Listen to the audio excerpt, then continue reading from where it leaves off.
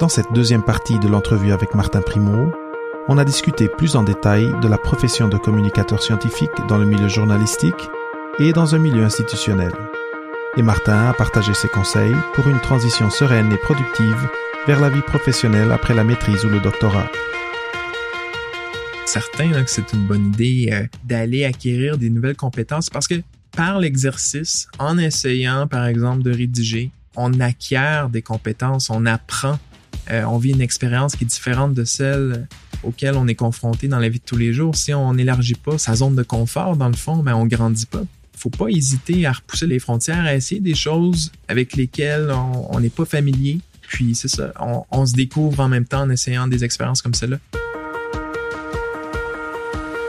Bienvenue à Papa PhD avec David Mendes, le podcast où on explore les carrières et la vie après la maîtrise ou le doctorat avec des invités qui ont eu des cheminements particuliers et qui ont des histoires uniques à raconter sur comment ils ont fait leur place dans un monde où les règles sont en constante évolution.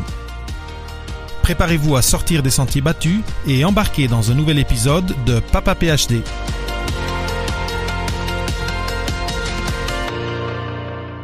Alors, bienvenue à la partie 2 de notre entrevue avec Martin Primo. Euh, avant de commencer, j'allais juste dire une affaire que j'ai pensé à la fin de la première partie, que c'est quelque chose qu'on entend beaucoup, mais que quelqu'un m'a dit il n'y a pas longtemps, c'est un bon doctorat, c'est un doctorat qui est fini. Et, euh, euh, un article, deux articles, pas d'article, finissez-le si vous pouvez, si ça ne vous apporte pas trop de, difficultés, que ce soit en santé mentale ou d'autres choses. C'est d'essayer d'avoir le meilleur doctorat au monde, c'est très très difficile. Et, euh, ça, peut, ça, pourrait prendre théoriquement un temps interminable. Donc, si vous, si vous vous demandez ah, est-ce que je devrais terminer, je pense que ce que vous gagnez personnellement, à mon avis, à le terminer, à, compléter ce, cette espèce de château que vous montez doucement pendant 5, 6, 7 ans, vous allez en retirer euh, un peu la fierté dont parlait Martin, mais un sens d'accomplissement que, je trouve qui n'est pas négligeable et qui, qui vous aidera euh, dans vos projets futurs? La question, euh, la question que je me suis posée, puis en fait la question qui, euh, qui me permet souvent de, de, de, prendre les décisions qui, euh, qui vont être les meilleures à mon avis, c'est me demander si je regretterais un jour d'avoir pris tel chemin ou tel autre chemin. Donc de me figurer une personne âgée sur son lit de mort, puis me dire est-ce que je regretterais d'avoir donc d'avoir abandonné ou pas. Puis des, des fois, c'est de cette façon-là qu'on qu'on comprend dans le fond instinctivement c'est quoi la décision à prendre. Euh, donc c'est ça. J'en ai connu des gens qui ont abandonné, puis ils ont abandonné au début, donc il y avait pas trop euh, d'engagement émotif euh, dans leur dans leurs études. Puis je suis sûr qu'ils ont pris la, la bonne décision. Euh, mais bon, c'est c'est sûr qu'on a à gagner là, de, de terminer, mais je suis sûr qu'il y a des personnes qui ont abandonné, qui sont très contentes aujourd'hui de, de l'avoir fait, puis d'avoir abandonné, puis de, d'avoir pu consacrer leur temps euh, à autre chose. À d'autres choses qui leur tenaient plus à cœur, certains, mm -hmm. certains. Et c'est vrai que ça dépend aussi d'où tu es rendu. Si tu es dans ta première, deuxième année, puis là, ça, ça va mal, tu sens, non, je, je, je n'appartiens pas ici, j'ai d'autres d'autres choses de mieux à faire, vas-y, là, mm -hmm. je suis totalement d'accord. Mais si tu es rendu année 4, 5, 6 et il te manque un petit peu d'effort, de la rédaction ou quoi, euh, ce, ce, serait peut-être gâché que, que, que de, de, de que d'arrêter cela. Que d'arrêter ça. Euh, en tout cas, c'était peut-être ma note que j'avais pas mentionnée à la fin de la première partie. Mais là, euh, on, on, on, parlait de fake news, euh, etc. tu as été quand même, tu es encore, ben, tu as été dans le milieu du journalisme spécifiquement pendant un certain bout. on en parlait en off que quand même les choses que, dont, sur lesquelles tu as travaillé, c'était pas des, des, articles de controverse, etc. Mais j'imagine que comme journaliste, comme professionnel, tu as une opinion sur, sur euh, ce qui se passe et sur euh, le rôle que, et là parlons de la science, hein, que les scientifiques peuvent avoir à s'approprier euh, un peu les données qu'ils génèrent et un peu la communication de ces données envers le public général. Est-ce que tu aurais quelque chose à dire sur, sur, sur le rôle de la communication de la science, la vulgarisation de la science et le rôle que les les scientifiques eux-mêmes peuvent avoir là-dedans? Ah, mais c'est sûr. Euh, bon, la, question est large, là, mais euh, c'est parce que il y, a des sujets qui sont plus controversés que d'autres. D'emblée me vient la thématique, euh, par exemple, des, des pesticides, où c'est difficile des fois de savoir si c'est le militant qui parle plutôt que le scientifique. Mais oui, nos scientifiques doivent parler. Euh, souvent, ce qui les retient de parler, c'est justement, on est comme scientifique, on apprend à se limiter aux faits, puis pas nécessairement à donner notre opinion. Euh, et puis des fois, ça fait en sorte que on, pense que euh, on n'a pas à dire un mot sur euh, une question qui, euh, qui est d'intérêt public parce que dans le fond, euh, ça sort un petit peu de notre expertise. À Polytechnique, là où je travaille maintenant, on invite les chercheurs à parler dans les médias, puis il y en a plusieurs qui le font. puis c'est important dans le fond, c'est une façon pour eux de mettre en valeur leurs résultats. on a entre autres plusieurs, un, groupe de chercheurs, de 4-5 chercheurs, dont l'expertise est la mobilité en milieu urbain.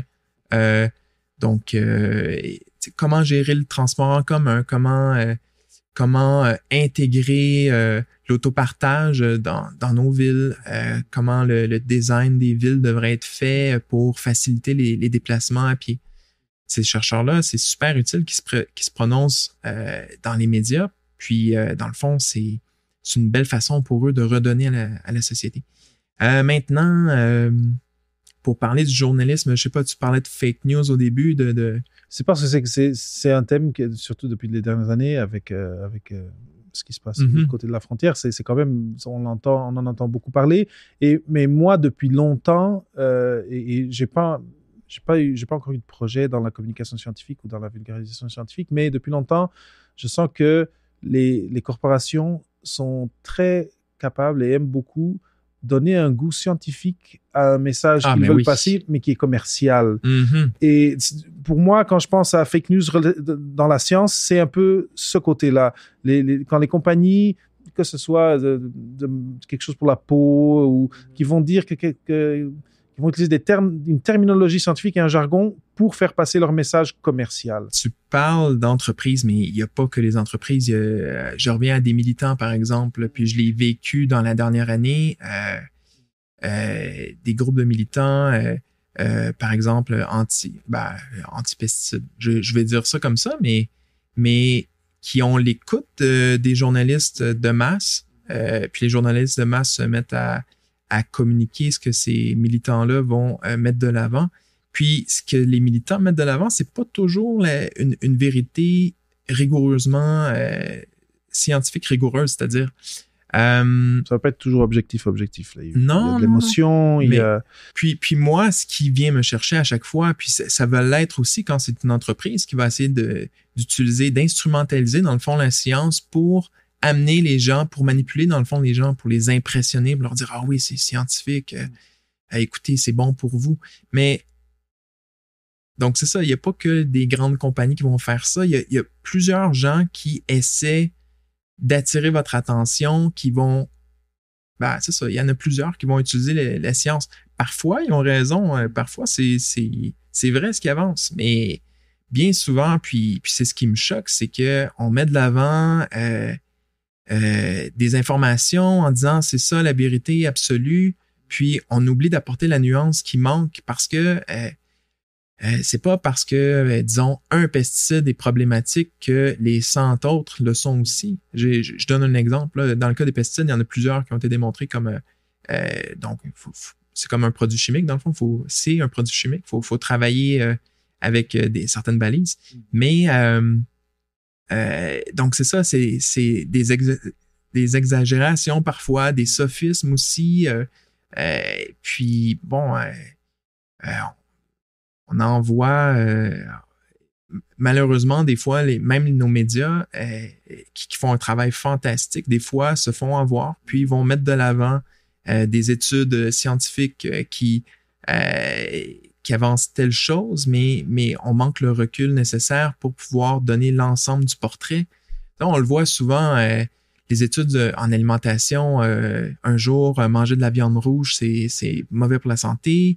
on réanalyse les, les, mêmes métadonnées, puis finalement, on dit non, c'est c'est correct finalement. Tu il y a c'est ça. On peut faire dire la science plusieurs choses, mais moi, ce que je trouve important, c'est toujours pas tant euh, amener un, un contrebalan puis, euh, puis nuancer au point où ça devient beige, mais, mais s'assurer que les gens aient toute l'information pour pouvoir se faire leur propre opinion euh, à terme. Je suis d'accord. et ma question, parce que là, là où j'aimerais m'en aller, c'est qu'on a je pense à, quelqu'un qui, soit maintenant, qui est maintenant à ses études, qui est maintenant au doctorat, disons, même au postdoctorat, mais disons au doctorat pour la forme, et, euh, qui a des résultats et, euh, qui a une publication, euh, et qui, a quelque chose qui peut être pris par un média et, et être, être viralisé, mais qui tout seul, dans le fond, comme tu dis, on peut pas tirer des grandes conclusions. Mhm. Et je pense qu'aujourd'hui, ce que je, vois dans les médias sociaux, c'est que de plus en plus, euh, euh, et tu me diras si au Polytechnique, les étudiants aussi, ils, sont incités à, publier sur ce qu'ils font, ou si c'est juste des chercheurs, mais que même des étudiants, ils commencent à, quand, il, quand un article qui sort, ils publient sur Twitter et ils, commencent à s'approprier un peu les outils euh, qui existent de dissémination d'informations. Et j'aimerais peut-être avoir euh, c'est ton opinion sur, un, si, tu te rends compte de ça, et si deux, euh, si tu trouves que c'est une bonne façon pour les gens euh, qui ont des intérêts un petit peu peut-être de, en, rédaction ou, ou, en communication, c'est une bonne idée de, de, se dire, ah, je vais partir un blog sur une telle thématique qui m'intéresse dans mon domaine.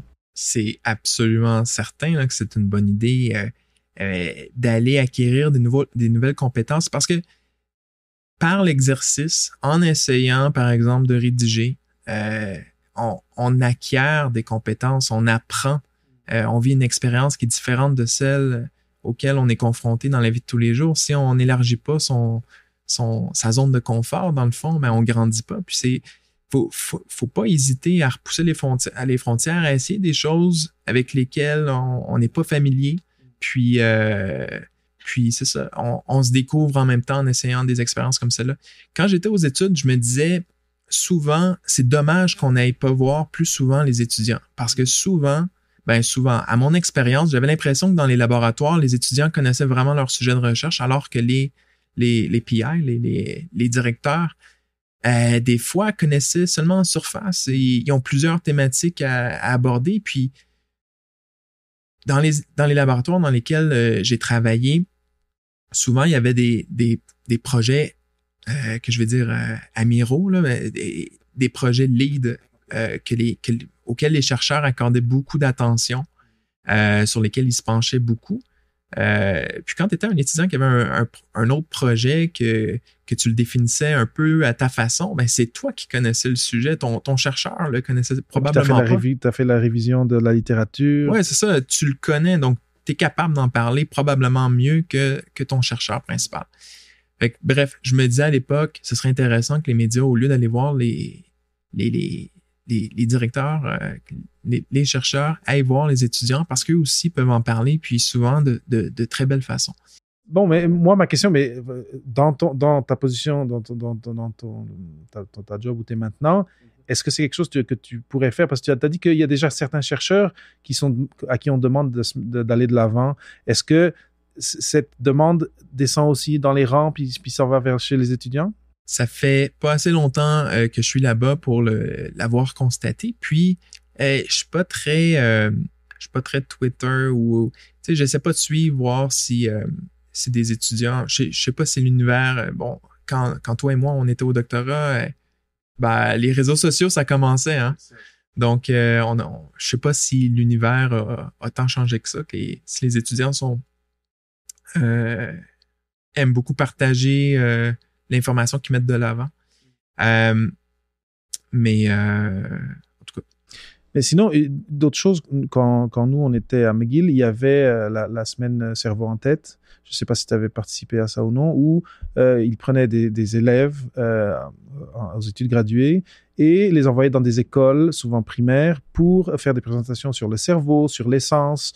Est-ce que, euh, encore une fois, je, soupçonne ta réponse, mais est-ce que c'est quelque chose que tu, trouves que les gens, s'ils ont l'opportunité de le faire, ils devraient euh, de donner de leur temps pour avoir ces expériences-là Moi, bon, et je vais m'imaginer dans le fond la personne que j'étais il y a, euh, il y a 10-15 ans, mais avoir, avoir maximisé, avoir compté sur les opportunités, les opportunités qui m'étaient présentées mm. pour juste vivre l'expérience, là, euh, j'aurais tellement, j'aurais tellement gagné de temps. Euh, ça m'aurait permis de, de vivre des, des, expériences, de comprendre, OK, ça, c'est pas fait pour moi, ça, c'est fait pour moi. Allons dans cette direction-là. Fait qu'il faut en profiter. Il faut profiter de toutes les occasions qui nous sont présentées. Euh, superviser euh, euh, un étudiant de niveau cégep même qui veut faire un stage, allez-y. Passer on, Ouais, on, apprend à faire comprendre des choses à, quelqu'un. Mm. Vraiment, là, l'idée, là, c'est de pas tourner en rond, puis toujours se challenger soi-même, puis essayer d'élargir sa zone de confort. puis, puis, évidemment, essayer de faire des choses qu'on aime le plus possible parce que c'est il faut que ça soit ça le guide au final. Il faut qu'on aime ce qu'on fait. C'est vrai. Euh, maintenant, on parle de, vulgarisation scientifique et c'est quand même quelque chose de très particulier. Euh, euh, mais, mais, mais il y a quand même une différence entre un vulgarisateur, donc un chercheur qui, qui aime communiquer et qui est bon à, je sais pas, à, faire des visualisations de, de, ses résultats et de le passer au, grand public. Mais après, un journaliste, c'est quelque chose d'un petit peu différent. Mm-hmm. Et, et, donc, moi, je me mets dans les souliers de quelqu'un qui est en train d'écouter l'épisode et qui dit Ah, moi, le journalisme, ça me tente, mais là, il faut que je fasse mon doctorat. Euh, mais j'aimerais peut-être en savoir un petit peu plus sur c'est quoi, quelle est la différence entre juste un, vulgarisateur et un journaliste? C'est quoi la différence de démarche euh, et, euh, c'est quoi le jour le jour d'un journaliste scientifique? Ah, ben là, ça, ça, dépend pour quel média tu travailles, mais, mais moi, j'aime j'aime présenter euh, le rôle d'un journaliste comme celui d'une personne qui est euh, témoin de ce qui se passe, qui, est un observateur, qui est un, un contemplateur, une personne, tu sais, dans le fond, le travail d'un journaliste, c'est d'écouter quelqu'un, puis de rapporter euh, ce que la personne va dire, de, puis de, de, de, jumeler ça à de l'information, à des chiffres. Je, je, me rappelle quand j'étais quand j'étais petit, j'avais demandé à mes parents quel métier me permettrait d'apprendre continuellement. Bon, il y en a plusieurs des métiers où on apprend continuellement. Pas mal tous les métiers nous permettent ça. Mais celui du journalisme est, une est, une peut-être parmi ceux où on, est exposé à plus de nouveautés. En tout cas, dans ce que j'ai vécu, euh, j'ai pu euh, ça m'a ça m'a permis par exemple d'aller dans une dans une salle d'opération, un patient qui se faisait opérer au cerveau, je suis allé sur un ring de boxe, je allé, tu sais, ça nous permet d'avoir accès à des endroits où euh, personne n'irait. Euh, puis d'apprendre continuellement sur différentes thématiques. Moi, fait j'ai été servi pour ça. Comment ça marche? Parce que là, bon, tu as eu des jobs dans, dans des organisations, après tu es parti à la pige. Euh, peut-être j'aimerais parler un peu de ça. C'est comment, comment tu, tu ressens cette différence? Euh, comment tu, tu, vivais une, une, réalité et comment tu vis la, la, la réalité. Avant, tu as vécu la réalité de la pige et maintenant de retourner dans une organisation. Mais après, peut-être ce côté pratique de comment ça marche, écrire un article, est-ce qu'il faut l'envoyer à 3000 euh, magazines pour essayer de te faire publier? Euh? Mon, mon parcours n'a pas été celui, euh, a été facile, je dois dire, là, parce qu'avec la bourse pendant ce gain, je me suis mis à avoir des contacts euh, rapidement. Euh, puis, tu sais, de fil en aiguille, euh, c'est un petit milieu, fait que... Ça donnait une bonne visibilité ben, en, Oui, en partant, on, savait que j'étais formé, on savait ce que je pouvais donner. Et puis, donc, c'est ça, on me commandait des textes. La plupart du temps, c'est des textes qu'on me commandait. J'ai rarement, ben, j'ai parfois soumis des idées, mais souvent, c'est j'ai eu la chance que c'est ce du travail qu'on me proposait. Mm-hmm. Puis, souvent, la façon qu'on formate ça, bon, c'est un feuillet, deux feuillets, deux feuillets et demi, donc 250, 500, 600 mots.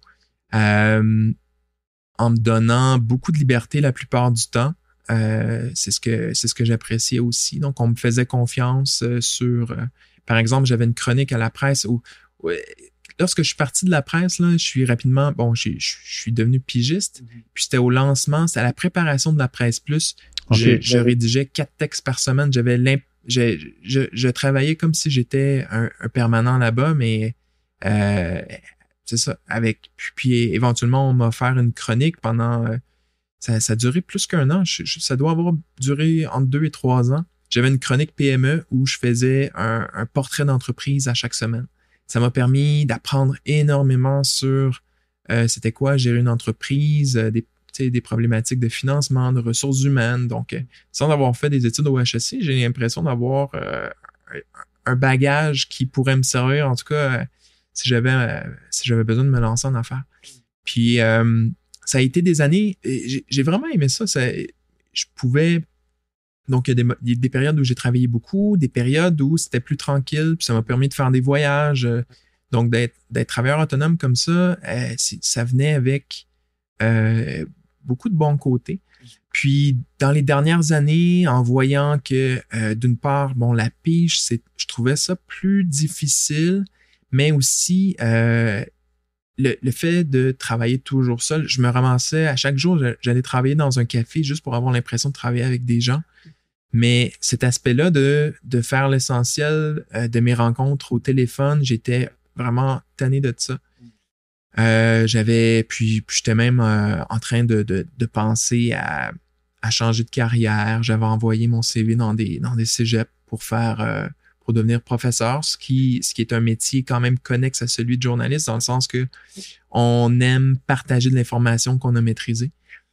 Et puis, euh, finalement, j'ai eu un appel euh, de la Terre de chez nous, un, journal avec qui je collaborais déjà, donc le journal en agriculture. Il y avait besoin d'une personne euh, pour faire un remplacement, puis j'ai accepté. ils sont basés à Longueuil, donc transport en commun, ça se faisait bien. J'ai adoré mon expérience là-bas, vraiment. Là, là ça m'a permis de faire un type de journalisme différent où je devais trouver de la nouvelle information, suivre des dossiers euh, dans des secteurs euh, qui, dans, dans, dans, mon beat, dans le fond, j'étais, euh, donc j'avais vraiment, en agriculture, il y a des sous-groupes, donc j'avais la responsabilité de tous les produits maraîchers, donc les, fruits et légumes, et puis, bon, vu mon, mon background en sciences, on, on m'a rapidement prêté le, le, le, sujet des, tout ce qui était un peu plus controversé avec les pesticides.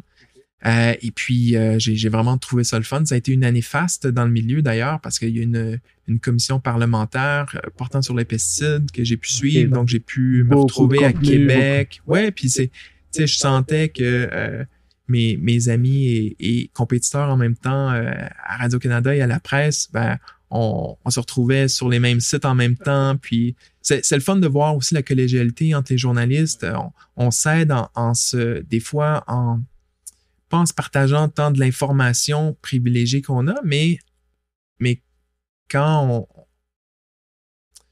quand on a une meilleure compréhension d'un dossier qu'un autre, en tout cas, on n'hésite pas à se, à s'aider à, ce niveau-là. Ouais. C'est intéressant, j'avais pas pensé euh, euh, à ce côté-là, le côté social de faire partie d'un corpus de gens qui font plus ou moins la, même, la activité, partagent des espaces euh, des fois similaires parce qu'il y a des thématiques qu'ils suivent. Donc, la communauté journalistique, dans ton expérience, c'est une communauté qui est intéressante, une belle dynamique et Ouais, mais j'en parle euh, sans, sans nécessairement la connaître. J'ai jamais été membre de, de, la FPJQ ou, ou de l'AGIC, qui sont euh, soit l'association des bon la fédération des, des journalistes, soit l'association des journalistes indépendants.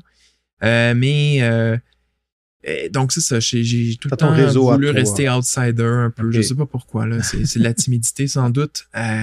Ou, ou, le sentiment que j'appartenais pas à, ce, à ces gens-là, mais dans la dernière année, euh, j'ai, aimé côtoyer des, des, journalistes sur le terrain et puis euh, c'est sûr que j'ai pas vécu euh, l'expérience euh, journalistique qu'une personne euh, qui a travaillé dix ans à la presse, à faire des enquêtes, à faire du terrain, beaucoup, beaucoup, à approfondir ce dossier. tu sais, je peux pas témoigner comme cette personne-là témoignerait. Euh, mon parcours a été différent. J'ai vraiment compris pendant que j'étais aux études, euh, au certificat en journalisme, que j'aurais avantage à me spécialiser dans des sous-catégories. Étant déjà spécialisé en sciences, je me suis dit, OK, je vais aller en économie aussi. Puis ça m'a servi, ça m'a vraiment permis de, de, vivre des belles années. Euh, J'ai ajouté à ça l'agriculture éventuellement. Euh, donc, bien content, mais donc là, c'est ça. Je voulais de la stabilité. et puis, le poste à Polytechnique s'est présenté. Je me suis dit, dans, notre milieu, là, passer aux relations médias, c'est sauter la clôture, c'est aller chez l'ennemi même.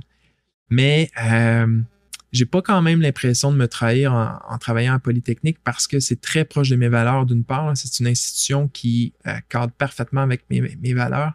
Et puis, j'ai l'impression vraiment de faire du journalisme encore. Donc, euh, je raconte des histoires, je suis pas dans des dossiers controversés. Euh, et puis, ça, ça, me plaît. moi, je suis là pour voir les histoires qui méritent d'être connues, puis essayer de les mettre en lumière. Très intéressant. Maintenant, euh, une, question qui, euh, s'est posée, euh, que, je viens, à laquelle je viens de penser, c'est dans tout ça, bon, la, bourse Fernand Séguin, les stages que tu as fait, les, gens, ils savaient que tu étais au doctorat, que étais au doctorat, mais éventuellement tu l'as fini et tu es allé avoir des jobs dans, comme le, journal agricole ou peut-être les gens s'attendaient pas à ce que tu sois, euh, que tu aies PhD après ton nom. Est-ce que tu as, eu des. Ben, parce que tu as déjà dit, tu m'as dit, je sais pas si c'était en off ou, au micro, que tu ne mentionnais pas vraiment euh, ou tu mettais pas d'accent là-dessus. Est-ce que. Comment c'est la réalité de, de postuler pour des jobs où ça fait pas partie des, euh, des requis ou des prérequis être avoir son doctorat? Donc, c'est ça, j'avais jamais appliqué, mais juste pour revenir au, à l'étiquette PhD, euh, donc, sur euh, maintenant, sur LinkedIn, j'ai ajouté PhD. Euh, ça m'est venu, euh, j'ai commencé ça quand j'ai entamé le processus de, de me retrouver un, de me trouver un emploi dans le fond, de, de, quitter le, le, journalisme indépendant. Mm-hmm. Et puis, ça m'était venu d'un chasseur de tête qui m'avait contacté pour un, un poste dans une, c'était un fonds d'investissement dans le fond, puis il y avait une besoin d'une personne pour faire les communications. Puis de par mon expérience en journalisme économique, euh, j'avais j'avais ce qu'il fallait pour faire pour occuper le poste. Puis c'est lui qui m'a fait réaliser à quel point c'est important de, de, se mettre en valeur sur LinkedIn. Donc j'ai j'ai fait le changement, mais sinon par le passé, j'ai toujours l'impression que ça intimidait les gens que je rencontrais.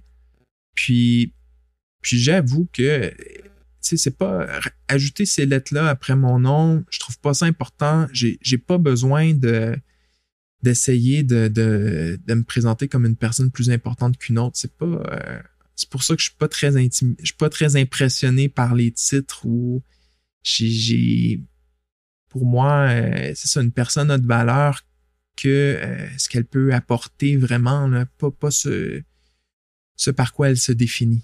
Oui, et c'est vrai qu'il il va y avoir des, des, des, jobs où ça va être important.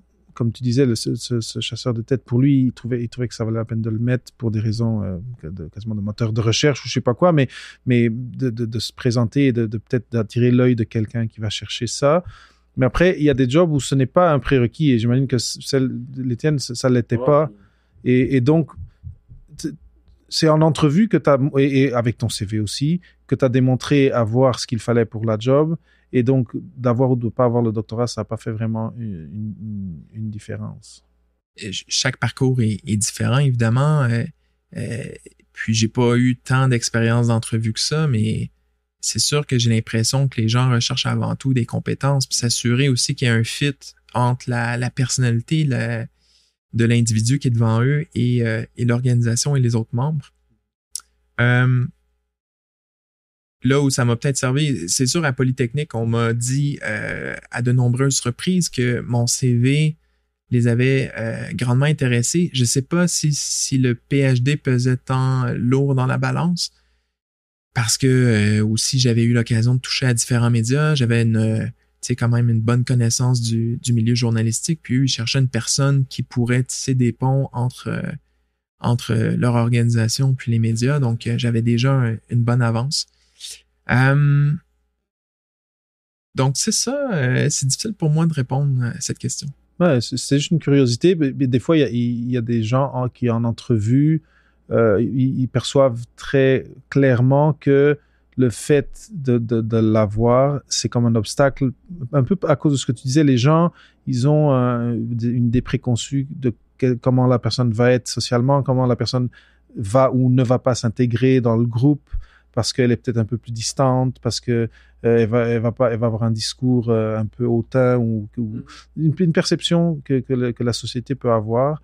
Mais après, il y a, il y a des, des employeurs qui cherchent des, doctor, des, des doctorants. Et moi, je, je, mon expérience, c'était, c'était ça quand, quand j'ai eu ma job euh, juste après mon doctorat. Eux, c'est ça qu'ils voulaient parce que ils, ils, ils connaissaient le, les compétences avec lesquelles on venait et c'est ça qui, leur, qui les intéressait. Après, ils nous formataient c'était pour, euh, pour la rédaction médicale. Donc, euh, ils nous apprenaient à comment écrire pour leur public.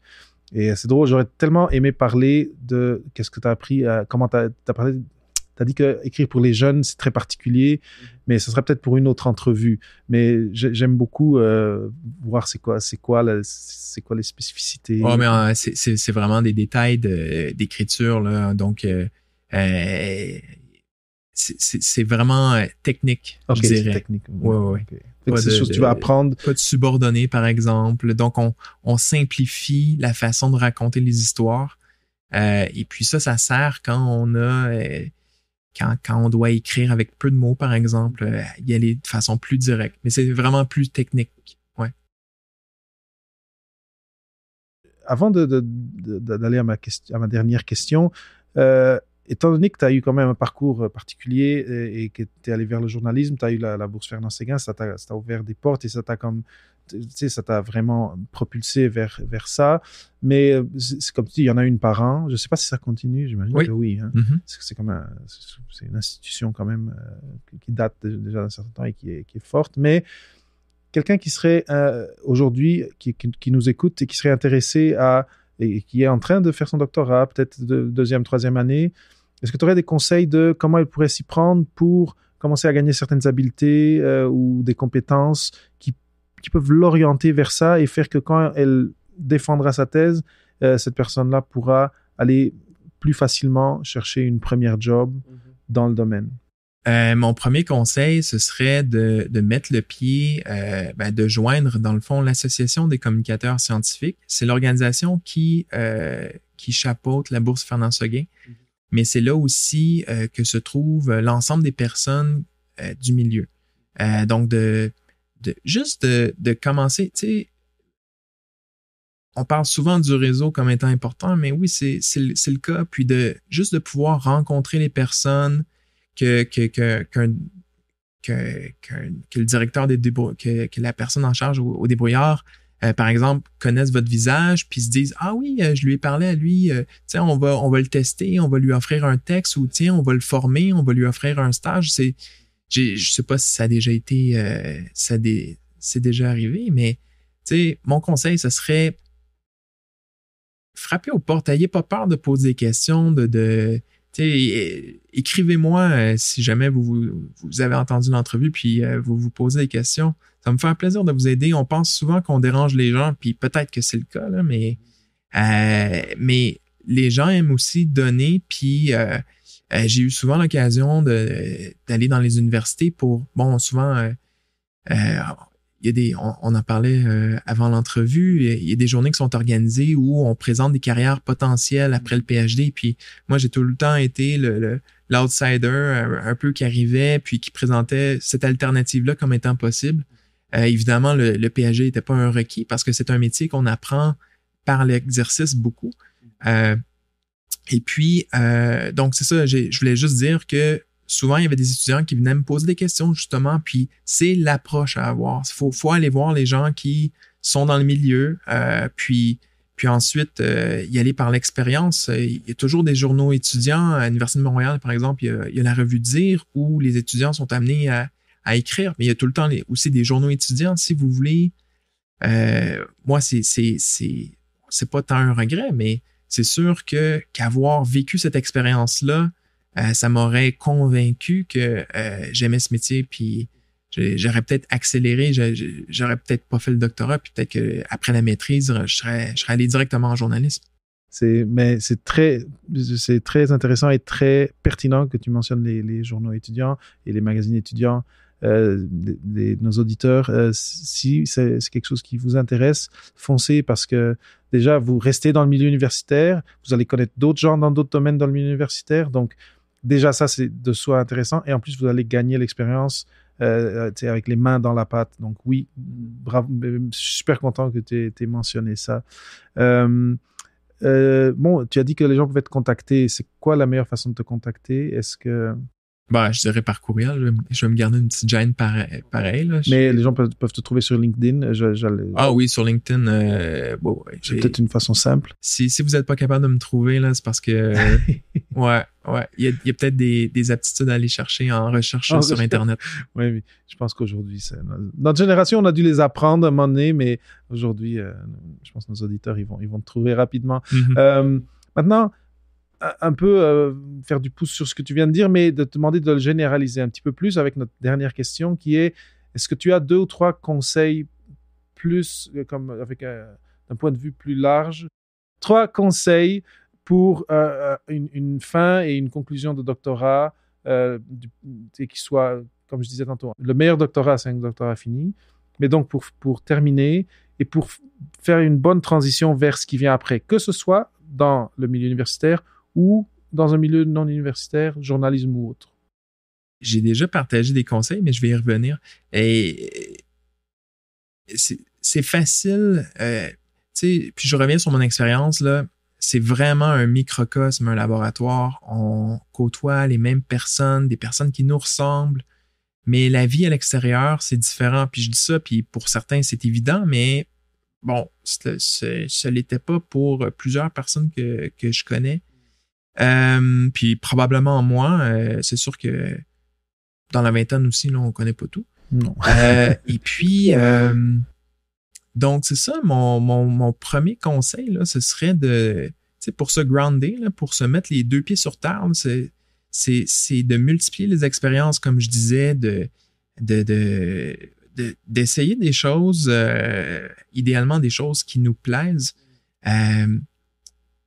puis, donc, essayer des choses, aller parler à des gens, euh, parler à des gens dans, l'industrie si c'est ce qui vous tente, euh, ne serait-ce que pour savoir c'est comment l'atmosphère.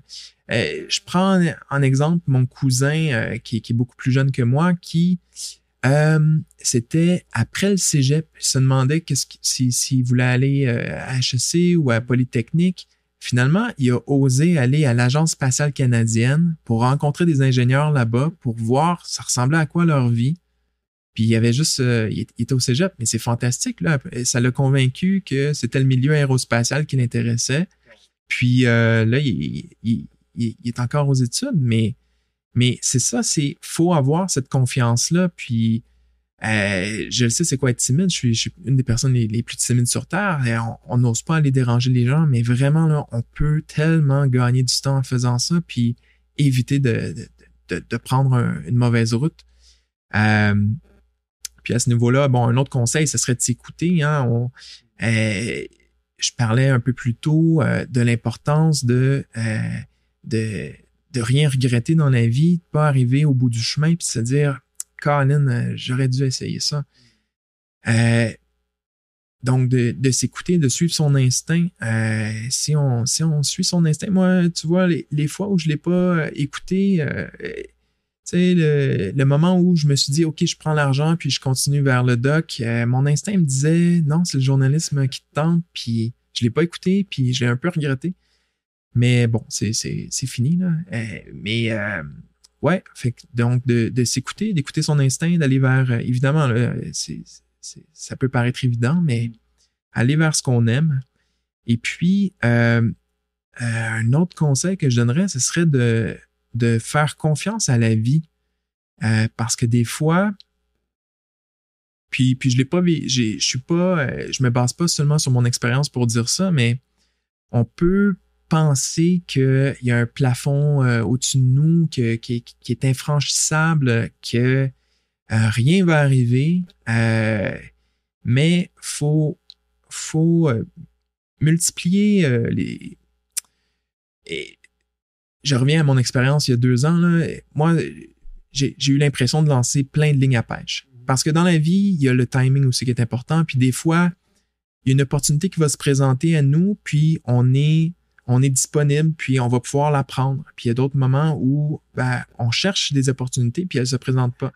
Mais en, essayant de forcer sa propre chance, donc en lançant des lignes, en contactant des gens, en, s'exposant, en se montrant, en faisant des activités bénévoles des fois. C'est comme ça qu'on finit par trouver, euh, trouver un emploi qui nous convienne. Euh, donc, c'est ça. Ce que je dirais comme dernier conseil, je me rappelle pas comment je l'avais formulé, il me semble que c'était très intelligent, mais j'ai oublié. Mais donc c'est ça, c'est de, de, tenter sa chance, puis de d'y aller, puis d'oser. donc sortir de sa zone de confort, ça revient, ça revient beaucoup à ça. oui, ça me fait penser à la vieille, la, vieille histoire de du, gars qui voulait gagner la loterie mais qui achetait pas de billets. Mm. Euh, et, dans un certain sens, et bon, tu as touché une affaire importante. Euh, on avait parlé des magazines universitaires, là tu as parlé de bénévolat. Je trouve que c'est de donner son temps pour, quelque chose bon, qui, nous tient à cœur et qui nous intéresse, mais de donner son temps, c'est une très belle, très belle façon de gagner des expériences euh, et de connaître des gens qui, sont, qui vont être un peu sur la même longueur d'onde que nous. Donc, euh, je suis super content que tu aies mentionné ça en, fin d'entrevue.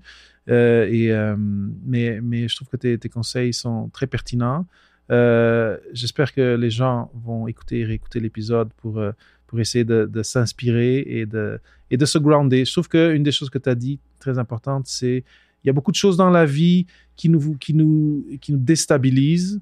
Mm. mais si on est capable de, de, de leur prêter juste l'importance qu'elles méritent, on est capable d'aller plus loin et d'être dans, une plus grande stabilité et à la fin dans une plus grande maturité et des fois de surpasser des, difficultés et d'atteindre nos, objectifs. Parfaitement. Mais je suis super, super content, Martin, de t'avoir eu euh, au micro de Papa PhD. Merci à toi. Euh, encore une fois, j'espère que les gens qui écoutent apprécient euh, tout, tout ce dont on a parlé, les discussions, les discussions qu'on a eues, et on retire, on retire des, des, des, de l'inspiration pour, pour résoudre leurs questionnements et trouver des solutions à, à leurs problèmes et euh, peut-être devenir journaliste, qui sait. Il y, a, il y a quand même de la place. C'est un métier, euh, c'est un métier passionnant en tout cas. Merci beaucoup. Merci à toi. Et beaucoup de succès avec ton nouveau projet. Je publie cet épisode de Papa PhD pendant la période d'isolement en lien avec la COVID-19. Beaucoup d'entre vous suivent les recommandations de confinement social et travaillent à la maison. J'espère que vous êtes en sécurité tout en prenant le soin de rester actif et en contact avec vos amis et votre famille. Comme tout le monde reste principalement à la maison et limite les interactions sociales au strict minimum, j'ai décidé que ce serait le moment de vous rencontrer, de discuter avec vous. J'aimerais vraiment avoir de vos nouvelles savoir d'où vous écoutez et connaître vos réflexions sur l'expérience du doctorat et sur la façon dont vous envisagez votre vie professionnelle à venir. Donc si vous voulez discuter avec moi pendant 15 minutes, allez sur papaphd.com slash 15 minutes avec David, je mettrai le lien dans les notes d'épisode, et choisissez une date et une heure. On se rencontrera sur Zoom et je vous ferai un shout-out dans l'épisode suivant. Merci d'avoir écouté un autre épisode de Papa PhD. Rendez-vous sur papaphd.com pour les notes d'entrevue et pour d'autres sujets de réflexion à propos des choix de carrière après la maîtrise ou le doctorat. Ça me fera toujours plaisir de partager des histoires inspirantes, des nouvelles idées et des ressources utiles sur le podcast. Donc assurez-vous de vous abonner sur iTunes ou sur la plateforme de votre choix pour être à jour avec nos thématiques et pour connaître nos derniers invités.